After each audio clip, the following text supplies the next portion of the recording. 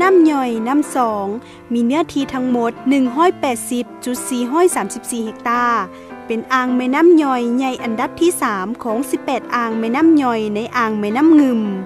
พื้นที่ของอ่างแม่นกวมเอาสองแขวง แขวงหลวงพระบางและแขวงเวียงจันทน์และกวมเอาหกเมือง ภูคูนไสสมบูรณ์ กาสี วังเวียง หินเหิบและเมืองเฟือง โครงการคุ้มครองอ่างน้ำย่อย น้ำซอง เป็นโครงการห่วมมือสามฝ่ายลาว ไทย เยอรมัน ซึ่งได้เริ่มจัดตั้งปฏิบัติในเดือนกุมภา2012 และได้สิ้นสุดในเดือนมีนา2014 2 ปี พื้นที่ของโครงการแม่นกวมเอาสามเมืองเซนเมืองกาสี วังเวียง หินเหิบ แขวงเวียงจันทน์การจัดตั้งปฏิบัติโครงการดังกล่าว แม่นโครงการทรัพยากรธรรมชาติและสิ่งแวดล้อมเมืองกาสี วังเวียง หินเหิบ เป็นผู้จัดตั้งปฏิบัติ โดยประสานสมทบกับแผนกทรัพยากรธรรมชาติและสิ่งแวดล้อมแขวงเวียงจันทน์และกรมทรัพยากรน้ำกระทรวงทรัพยากรธรรมชาติและสิ่งแวดล้อม จุดประสงค์ของโครงการคุ้มครองอ่างแม่น้ำย่อยน้ำซองแม่นเพื่อสร้างทีมงานวิชาการร่วมกัน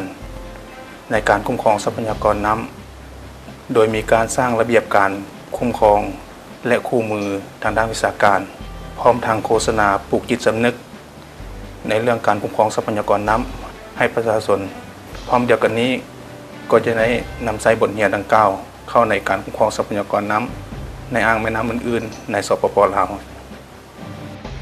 ครงการบริหารจัดการลุ่มแม่น้ำย่อยน้ำซอง เป็นหนึ่งในโครงการนำล่อง ภายใต้กรอบความร่วมมือไตรภาคีลาวไทยเยอรมัน โดยได้รับการสนับสนุนจากหน่วยงานของรัฐบาลทั้ง 3 ฝ่าย ฝ่ายลาวได้แก่กรมทรัพยากรน้ำลาว ฝ่ายเยอรมัน ได้แก่ GIZ โดยการสนับสนุนงบประมาณจาก กระทรวงเพื่อความร่วมมือทางเศรษฐกิจและการพัฒนาของเยอรมันสำหรับฝ่ายไทยก็คือสำนักงงานความร่วมมือเพื่อการพัฒนาระหว่างประเทศ หรือไทก้าสำหรับบทบาทของแต่ละหน่วยงานในการร่วมกันทำโครงการพัฒนาครั้งนี้ ก็ได้แก่กรมทรัพยากรน้ำสปปลาว ก็ให้การสนับสนุนโดยการทำงานรายวันในการปฏิบัติงานในพื้นที่จริง ให้ทรัพยากรบุคคล และก็สถานที่ในการปฏิบัติงาน ฝ่ายเยอรมันก็ให้การสนับสนุนในเรื่องของวิธีการดำเนินงาน การประสานงานร่วมกัน และแนวคิดในการที่จะวางแผนโครงการแบบมุ่งผลสำฤทธิ์สำหรับตุงกรมทรัพยากรน้ำเนี่ยก็ทำด้านบริหารจัดการทรัพยากรน้ำในการบริหารจัดการน้ำออของประเทศไทยใน 25 รูปน้ำหลัก ซึ่ง พิจารณามองเห็นว่าประเทศไทยเนี่ยในเรื่องของภูมิประเทศคล้ายๆกับสปปลาว ไทยก็เลยเอาวิชาการด้านบริหารจัดการทรัพยากรน้ำมาให้ความรู้กับข้าราชการของเราสร้างตั้งทีมงานวิสาการและนาทีพระบทบาท ในอ่างหับน้ำย่อยน้ำสอง ซึ่งขณะทีมงานวิสาการดังกล่าว ประกอบไปด้วยบรรดาผู้ต่างนาจากภาคส่วนที่เกี่ยวข้องพันท้องถิ่น โดยเฮ็ดหน้าที่ในการประสานงาน เผยแพร่กฎระเบียบคุ้มครองคุณภาพน้ำและเวียกงานคุ้มครองทรัพยากรน้ำในอ่างแม่น้ำย่อยน้ำสองห่างกฎระเบียบการคุ้มครองคุณภาพ น้ำในอ่างหับน้ำย่อยน้ำสองทางทีมงานได้มีการสั่งรวมข้อมูล และจัดกองประชุมปรึกษาหารือหลายครั้ง โดยการเข้าร่วมจากแขนงการที่เกี่ยวข้องสามเมืองกาสี วังเวียงและหินเหิบ พร้อมเดียวกันนั่นก็ได้สร้างคู่มือแนะนำวิธีแก้ไข ทางด้านวิสาการ เพื่อเคียงคู่กับการจัดตั้งปฏิบัติกฎระเบียบการคุ้มครองคุณภาพน้ำในอ่างหับน้ำย่อย น้ำซอง และได้ถึกอนุมัติแล้ว โดยทานเจ้าเมืองของสามเมือง ซึ่งกฎระเบียบดังกล่าว แม่นมีจุดประสงค์เพื่อใช้เป็นเครื่องมือในการคุ้มครองคุณภาพน้ำในอ่างแม่น้ำย่อยน้ำซองอ่างแม่น้ำสาขา และทรัพยากรอื่นๆ เพื่อปกปักรักษาสิ่งแวดล้อม ให้มีความอุดมสมบูรณ์ พร้อมทั้งหับประกันบ่ให้เกิดผลกระทบที่เป็นอันตรายต่อสิ่งแวดล้อมและสังคม ตลอดระยะการจะตั้งปฏิบัติโครงการผ่านมา ทางทีมงานของโครงการจากกรมทรัพยากรน้ำสปปลาวห้องการทรัพยากรธรรมชาติ และสิ่งแวดล้อมเมืองกาสี วังเวียงหินเหิบรวมกับกรมทรัพยากรน้ำประเทศไทย ได้มีการฝึกอบรมสร้างความเข้มแข็งให้กับพนักงาน ขันเมืองและขันแขวง เกี่ยวกับการคุ้มครองทรัพยากรน้ำและสิ่งแวดล้อม การส่งเสริมและการโฆษณา โดยการมีส่วนร่วมของชุมชนการติดตามกฎกาคุณภาพน้ำในขั้นพื้นฐาน การกวดและการประเมินคุณภาพน้ำ การเผยแพร่กฎระเบียบการคุ้มครองคุณภาพน้ำ และคู่มือทางด้านวิชาการ วิธีการเขียนสรุป และรายงานการจัดตั้งปฏิบัติกิจกรรมต่างๆ ของขันเมือง นอกจากนั้นยังได้มีการจัดกิจกรรมสร้างขบวนการอนามัยน้ำซองและไปทัศนศึกษาเบิงบทเรียนการคุ้มครองทรัพยากรน้ำที่แขวงขอนแก่นประเทศไทยอีกด้วย เพื่อนำใส้บทเรียนที่ฝึกอบรมทางเมือง และทีมงานของโครงการได้มีการเฮ็ดกิจกรรมปลูกจิตสำนึก ในเวียกงานการคุ้มครองทรัพยากรน้ำ ข้าพเจ้าซื้อนิชัยทัตวงศ์เนาะเป็นผู้ประสานงานโครงการ GSF นี้หน่วยขันเมืองเนาะใช่ว่าสำหรับสามเมืองในการประสานงานในกิจการดังกล่าวเนาะที่ทางโครงการได้สนับสนุนนี้เป็นหมู่เฮาได้เป็นผู้ประสานในสามเมือง เพื่อหนึ่งมาบอกเรื่องการสร้างระเบียบของสามเมืองนี้เฮาก็ได้มีการประชุมเนาะในแต่ละสามเมืองกับคณะการที่เกี่ยวของของสามเมืองนั้นจากระเบียบที่ทำอนุมัติแล้วเฮาก็ได้แบ่งความรับผิดชอบแต่ละสามเมือง เนาะเพื่อลงไปเผยแพร่ให้แต่ละบ้านเป้าหมายในการจะตั้งปฏิบัติระเบียบให้มันมีประสิทธิผลสูง ซึ่งทั้งสามเมืองได้เลือกพื้นที่ทดลองในการสร้างจิตสำนึกและบ้านตัวแบบในการเผยแพร่กฎระเบียบคุ้มครองคุณภาพน้ำในอ่างแม่น้ำย่อยน้ำซองเมืองกาสี ได้เลือกบ้านนาสังทองเป็นบ้านทดลอง ในระยะสองปีผ่านมาเราได้จิตจัดตั้งปฏิบัติหลายกิจกรรมที่สำเร็จ คือดังนี้ 1. ได้สร้างตั้งทีมงานวิชาการคุ้มครองทรัพยากรน้ำของเมืองกะสี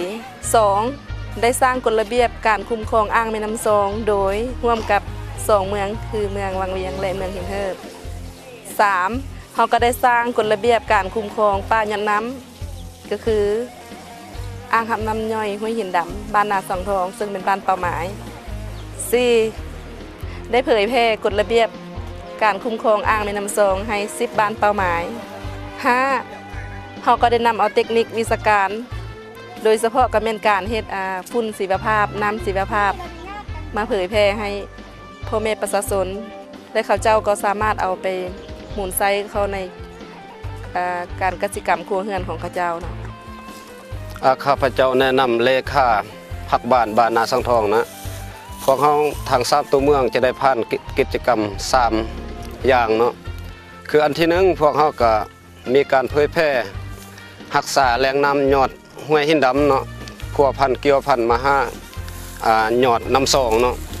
เขากับผ่านไป และผ่านกฎระเบียบให้ทางพ่อแม่ประชาชนทางบ้าน เข้าใจลึกซึ้งเกี่ยวกับการรักษาอนุรักษ์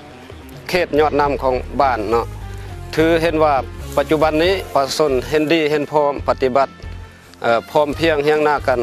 จะปฏิบัติตามเนาะคำแนะนำของระเบียบที่วางไว้เนาะต่อจากนั้นพวกเขาก็ยังได้บทเรียนจากโครงการเพิ่นก็มาเผยแพร่มาได้สร้างบทเรียนให้พวกเขาสร้างฝุ่นชีวภาพโดยง่ายๆเนาะกิจกรรมตัวนี้เนาะพวกเขามาน้ำใสบัดนี้ปฏิบัติตัวจริงคือส่วนที่พวกเขาเห็นแล้วเนาะคือว่าตัวนี้เนาะเขาได้น้ำใสปุ๋ยเคมีเนาะตัวนี้ นำใส่ฝุ่นชีวภาพเห็นว่างามคือกัน แต่ว่าผลดีอาจจะเป็นฝุ่นชีวภาพเนี่ยเนาะที่ว่ารับผลจากแรงทึนพวกเขาทึนน้อย แต่ว่าคุณภาพก็ได้คือกันกับปุ๋ยเคมีเนาะทางสารประชาชนก็มีความดีอกดีใจจะสืบต่อพันธุ์ขยายฝุ่นชีวภาพนี่เขามีความสนใจที่สุดข้าพเจ้ากันยังจะสืบต่อ เมืองวังเวียง ได้เลือกบ้านผู้ดินแดง ในการเป็นตัวแบบการคุ้มครองป่าย่อมโดยการมีส่วนร่วมของชุมชนและเอาบ้านผาตั้ง เป็นบ้านตัวแบบในการเผยแพร่กฎระเบียบคุ้มครองคุณภาพน้ำในอ่างแม่น้ำย่อยน้ำสองเมืองวังเวียงของเฮาแม่นเอาบ้านป่าไม้แม่นบ้านผู้ดินแดงหั่นในคุ้มครองหวยทานี่เนาะตัวแบบว่าคุ้มครองหวยทานี่แล้วมีระเบียบของบ้านของเฮาก็ได้มีบ้านเป่าไม้ในการนำใส่ ทั้งรักตะก้อนหรือว่าเพื่อแพร่ระเบียบ หรือว่านำใส่ปุ๋ยชีวภาพเขาในการผลิตแล้วเฮาก็ได้สร้างจิตสำนึก ให้แก่เยาวชนเนาะในที่โรงเรียนเป็นบ้านปากป้อบ้านผู้ดินแดงนี้ไอ้หูถึงวิธีการติดตามเผาระวังเรื่องคุณภาพน้ำโดยเฉพาะมันยิ่งใส่อาชีวนานาพันธุ์ในน้ำนี้เนาะให้หูว่ามีตัวเหนียวตัวยังหรือว่าน้ำเมื่อเวลานี่ยังมีความสมบูรณ์เท่าใดให้หูแล้วเผาระวังสีของน้ำมีการเปลี่ยนแปลงในใดอันนี้ ไอ้น้องเยาวชนของเฮาก็ได้มีความรู้และเข้าใจเพื่อจะตั้งปฏิบัติอันนั้นข้าพเจ้าในนามต่างหน้าอำนาจการปกครองบ้านผู้ดินแดงเนาะที่ว่าในระยะผ่านมาก็ถือว่าได้เข้าร่วมแล้วก็ได้เฮ็ดสันสนเนาะที่ว่าจิตกรรมปลูกจิตสำนึกให้ประชาชนที่ว่าเข้าใจนะเรื่องในการรักษาแหล่งน้ำนะครับกิจกรรมที่ว่าอนามัย เป็นต้นอนามัยตามเส้นทางตามสายน้ำกิจกรรมในครับความหัวมือจากประชาชนดีเนาะในระยะผ่านมา ปัจจุบันนี้เนาะเทียบถ้าเทียบเสื้อในระยะผ่านมาเนาะก่อนๆหันก็ถือว่าประชาชนมีความรู้สึกตื่นตัวหลายเนาะเพราะว่าในระยะผ่านมาหันประชาชนก็ยังบ่ทันเข้าใจที่ว่าการรักษาสิ่งแวดล้อมบ่ได้ดีปานใดนะ มาปัจจุบันนี้ถือว่าประชาชนก็เข้าใจแล้วก็พากันเฮ็ดพากันรักษาแหล่งน้ำหรือว่าเพื่อนสานคงแต่ละครอบครัวข้าพเจ้าเนาะในนามคณะบ้านผาตั้ง แล้วก็ได้เผยแพร่กฎระเบียบขอโครงการเนาะคือ 17 ข้อห้ามแล้วก็ 6 มาตรฐานการปั๊มไหมผ่านการโฆษณาของเราแม่น ได้โฆษณาอยู่ในกองประชุมลมบ้านหนึ่งครั้งเนาะแล้วก็ได้โฆษณาทางโทรโคงอาทิตย์หนึ่งครั้งหนึ่งเนาะหลังจากที่ว่าพวกเฮาเนาะได้รับโครงการที่ว่าทางขันเทิงลงมาเพื่อว่าเฮ็ดนำบำบัด เพราะว่าดักไขมันนี้ถือว่าได้รับผลดีนะเพราะว่าหลังจากใช้เนาะคือเฮ็ดให้น้ำของพวกเฮานี่มีน้ำสะอาด หลังจากกันตองออกมาแล้วเนาะถือว่าในผ่านมาถือว่าเฮาปล่อยน้ำแบบสะใช้หั่ถือว่ามี แบบมีกลิ่นมีเหม็นเพราะว่ามันทั้งมีไขมันมีทั้งอันนั้น แต่ว่าปัจจุบันหลังจากที่ว่าได้โครงการเพิ่นลงมาเผยแพร่เกี่ยวกับเรื่องงานตัวนี้ พวกเฮาได้มาหับใช้แล้วมาเฮ็ดทดลองเบิ่งก็ถือว่าได้รับผลดีหั่นแหละเออนี่ก็มันอยากให้ใส่เพื่อปุ๋ยชีวภาพนั่นแหละเนาะเพื่อว่าหลีกเลี่ยงอันอ่างน้ำย่อยขึ้นไม่น้ำสองนี่นะเพื่อบให้มันมีสิ่ง เคมีสารเคมีไหลลงสู่แม่น้ำเนาะเราต้องใช้ปุ๋ยชีวภาพนี้เพื่อรับประกันสุขภาพ และการกินก็แม่นถือว่ามีข้อสะดวก กินง่ายบ่ยานเนาะเอาเลี่ยงการใช้ยาฆ่าแมงไม้แมงนั่นน่ะเพื่อว่ารับประกันสุขภาพของคนเฮานี่แล้ว นอกจากนี้ทางโครงการทรัพยากรธรรมชาติและสิ่งแวดล้อมเมืองวังเวียง ก็ได้มีการติดตามคุณภาพน้ำในอ่างแม่น้ำย่อยน้ำสอง การติดตามคุณภาพน้ำในสายน้ำน้ำสองหันเนาะพวกเขาได้กำหนดอยู่ในอ่างน้ำสองนี้ทั้งหมดก็มีอยู่10กว่าจุดเนาะอยู่ในหันกันมีทางอยู่ในน้ำสองสายหลักได้แล้วก็มีอยู่น้ำน้ำสายขาน้ำสาขาเนาะตัวติดตามคุณภาพน้ำนี่ก็ถือว่าได้ติดตามเป็นปกตินั่นแหละในแต่ละเดือนเนาะแต่ละเดือนพวกเขาได้กำหนดเอาวันที่ 15 ของแต่ละเดือนนั้นลงไป เทสตัวจริงเนาะอันนี้โดยนำใช้เครื่องมือที่ว่าทางโครงการได้สนับสนุนให้ฮันเนาะและอยู่ในฮั่นพวกเขาก็ได้เก็บนำตัวอย่างท่นไปวิจัยอยู่ทางนครหลวงวิจารณ์พุ่นเนาะ เมืองหินเหิบได้เลือกเอาการคุ้มครองน้ำเสียจากครัวเฮือน โดยการมีส่วนร่วมของชุมชนบ้านหินติด และยังจะมีการขยายไปบ้านอื่นๆ ตื่มอีกในตอนหน้าสำหรับกิจกรรมของเมืองอินเทอร์เฮาเนาะมีสองกิจกรรม คือกิจกรรมที่หนึ่งแม่นกิจกรรมสร้างอ่างบำบัดน้ำเสียในครัวเฮือน ซึ่งมี10ครอบครัวในบ้านหินติด เป็นผู้สมไซแล้วก็เป็นครอบครัวตัวแบบ และแม่นผลได้ครับกะมีหลายอย่างเนาะคือหนึ่ง ก็มีการเปลี่ยนแปลงทางด้านคุณภาพน้ำแล้วก็มีการเปลี่ยนแปลงทางด้านการดำรงชีวิตย้อนว่าประชาชนก็มีความเข้าใจ แล้วก็ฮู้ถึงคุณประโยชน์ของน้ำว่าน้ำเสียแล้วก็หรือว่าน้ำสะอาดเป็นอย่างไรแล้วก็การปล่อยน้ำเสียออกจากขัวเหือนที่ว่าซาสายส่งผลกระทบ หลังจากภายหลังที่ว่าส่งปีเขาจะตั้งปฏิบัติท่านมา การเปลี่ยนแปลงก็มีหลายด้านที่ว่าเป็นด้านบวกขึ้นมาเนาะซึ่งว่าการประชาชนก็มีความเข้าใจแล้วก็บทิมขี้เหงื่อซาสายแล้วก็บทกทีสิ่งเศษเหลือลงแม่น้ำเฮ็ดให้น้ำสองมีความสะอาดกว่าแต่ก่อนเนาะแล้วก็กิจกรรมที่สองแม่นผู้ฝังจิตสำนึกให้กับประชาชนในเขตอ่างน้ำสองรู้จักถึงระเบียบกฎหมายแล้วก็มีส่วนร่วมในการสร้างระเบียบคุ้มครองแม่น้ำสง เพื่อว่ารักษาแม่น้ำสงให้มีความยืนยงในต่อหน้า ระหว่างการสร้างนี่ได้ระดมประชาชนจำนวน10หลังคานี้ มาช่วยกัน ออกให้งานสามัคคีแต่ละมือแต่ละวัน แบ่งปันเป็นจุเป็นหน่วยแล้วเป็นเป็นให้งานแต่ละมือสมทบกับนายสร้างเขาเป็นผู้เอ็ดเฮ็ดนี่แหละเฮ็ดอันนี้ก้อนเพื่อเป็นตัวแทนให้ชาวบ้าน เป็นอันน่ะตัวอย่างให้หมู่ทั้งหมดบ่ซั่นซะเนาะ ให้อันนี้มีความสะดวกดีแล้วสร้างเอาบนไม้ตื้มอันนี้ส่วนผสมมันเป็นมีพืชผักส่วนครัวเฮือนเฮาเศษอาหารที่เฮาบ่กินแล้วนี่ แล้วก็เอาใส่มีกากน้ำตาล หรือใส่น้ำตาลเม็ดก็ได้น้ำตาลทรายแล้วก็น้ำ EM มีหัวเสื้อที่เอาเอ็ดก่อนแล้วใส่เจ็ดมือก็นำใส่ได้ แล้วเจ็ดมือเราก็กรองเอาน้ำมันน้ำลิตรหนึงนี่จะใส่ใส่น้ำ10ลิตร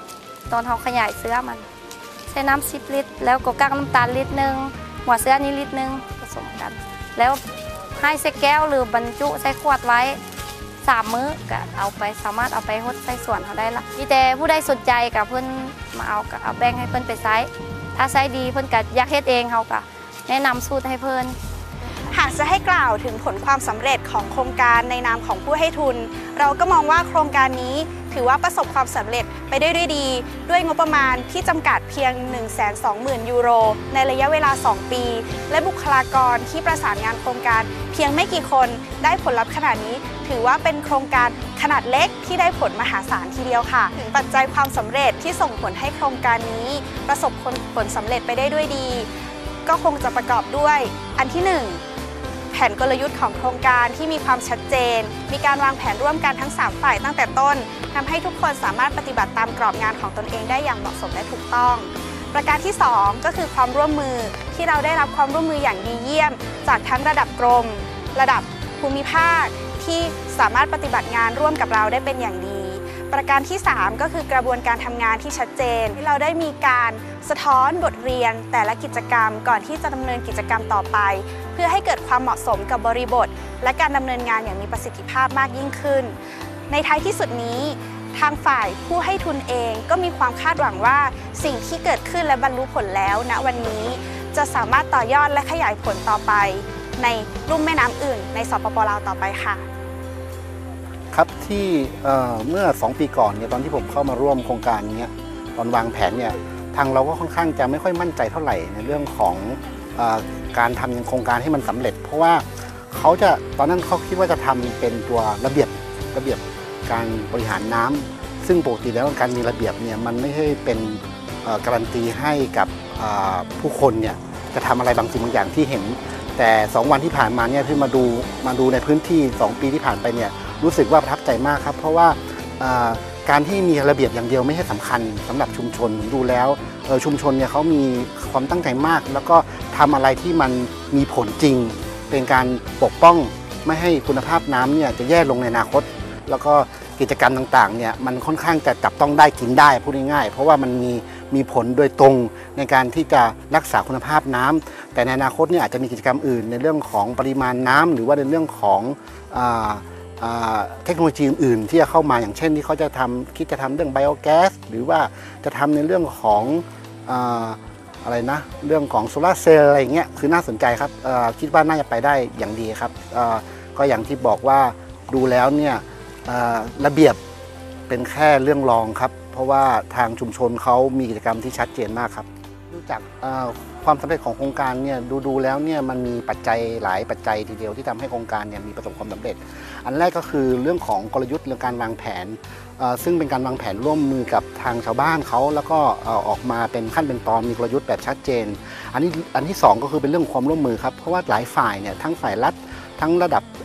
ระดับบนระดับชาติระดับท้องถิ่น แล้วก็ระดับจังหวัดเนี่ยมาร่วมมือกันแล้วระดับเมืองต่างๆ ที่เข้ามาร่วมกันเนี่ยแล้วหมู่บ้านต่างๆเนี่ย ถือว่ามีความสำคัญมากครับเรื่องของความร่วมมือเข้าร่วมมือกันดีมากเลย อีกเรื่องหนึ่งก็คือเป็นเรื่องของการกำกับดูแลครับคือเขาจะมีคณะทำงานของเขาในเรื่องของการจัดการน้ำแบบบูรณาการเนี่ยซึ่งอาจจะยังไม่เป็นคณะกรรมการแบบแบบเป็น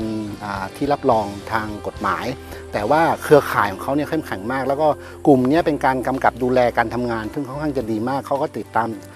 ประเมินผลตลอดเวลา อีกเรื่องหนึ่งที่สำคัญคือขั้นตอนการทำงานที่ทันเข้าวางแผนเนี่ยดูแล้วเนี่ยมีหลักการมีวิชาการ คืออย่างยกตัวอย่างเช่น การสร้างตัว บ่อบำบัดน้ำเสียงต่างเนี่ยมีการออกแบบมีการขั้นเป็นตอนที่ชัดเจนครับเลยทำให้งานออกมาเนี่ยค่อนข้างจะดีมากเลยครับ อีกเรื่องหนึ่งครับเรื่องสุดท้ายคือเป็นการเรียนรู้ สิ่งความคิดสร้างสรรค์ของเขาเนี่ยดูแล้วเนี่ยการที่เขาทำเนี่ยเขาไม่ได้ทำแค่จุดตรงนั้น เขามานั่งคิดว่าเอ๊ะทำแล้วแล้วจะปรับปรุงยังไง อันนี้น่าประทับใจมากครับเพราะดูแล้วเนี่ยมันทำให้เกิดไอเดียใหม่ ๆ เกิดขึ้น ซึ่งจะต่อยอดของโครงการนี้ต่อไป สวัสดีค่ะ ก่อนอื่นดิฉันขอแนะนำตัวเองนะคะ ดิฉันชื่ออังสนาศรีหพิทักษ์ เป็นรองผู้อำนวยการสำนักงาน ความร่วมมือเพื่อการพัฒนาระหว่างประเทศ หรือภาษาอังกฤษที่รู้จักกันว่าชัยก้านะคะ คือทางรัฐบาลไทยร่วมกับรัฐบาลเยอรมันได้เข้ามาสนับสนุนสปปลาวนะคะทำในโครงการเรื่องการอนุรักษ์ลูกน้ำซองนี้ และมีผลต่อเนื่องในการนำความรู้เกี่ยวกับ การรักษาสิ่งแวดล้อมนะคะเข้ามาเพื่อช่วยเหลือให้ชุมชนท้องถิ่นต่างๆ มีการอนุรักษ์ลุ่มน้ำคุณภาพของน้ำและมีการปฏิบัติตามกฎระเบียบที่ออกมาภายใต้โครงการนี้นะคะและนี่คือผลิตภัณฑ์ตัวอย่างอันหนึ่งในการใช้เอ่อปุ๋ยชีวภาพนะคะเพื่อสุขภาพอนามัยและสิ่งแวดล้อมนะคะเนื่องจากว่าโครงการนี้มีกำหนดระยะเวลา 2 ปี ก็คือได้ดำเนินมาครบ กำหนดเวลาแล้วนะคะดิฉันได้มีโอกาสเข้ามาร่วมในพิธีปิดนะคะโครงการร่วมกับท่านจันทเนศบัวรพาสำหรับอนาคตว่าความร่วมมือของเราในเรื่องของไตรภาคีสำหรับโครงการนี้ต่อไปเนี่ยจะเป็นเช่นไร คิดว่าเนื่องจากเราได้มาเห็นชุมชนต่างๆ ให้ความสนใจอย่างยิ่ง แล้วก็ก่อเกิดประโยชน์อย่างยิ่ง ทั้งในเรื่องของการรักษาคุณภาพน้ำ และในการที่ช่วยให้ชาวบ้านมีชีวิตความเป็นอยู่ ที่ถูกสุขลักษณะ ทางเราก็อยากจะสนับสนุน และคิดว่าอะไรที่จะทำให้ชาวบ้านเนี่ยสามารถเข้ามามีส่วนร่วมนะคะ แล้วก็นำผลของโครงการเนี่ยไปต่อยอด ทางเราก็ยินดีที่จะให้ความสนับสนุนในด้านวิชาการเทคนิค รวมถึงการที่จะมีการแลกเปลี่ยนความรู้ และในการที่เราจะส่งผู้เชี่ยวชาญเข้ามาให้คำแนะนำต่อไป ทั้งนี้หากว่าทาง รัฐบาลสปปลาวเห็นว่า โครงการความร่วมมือเหล่านี้ น่าที่จะสร้างประโยชน์เพิ่มเติมได้มากกว่าโครงการที่หนึ่งที่จบลงไปนี้ เราก็อาจจะมีการพิจารณาหารือร่วมกันต่อไปค่ะ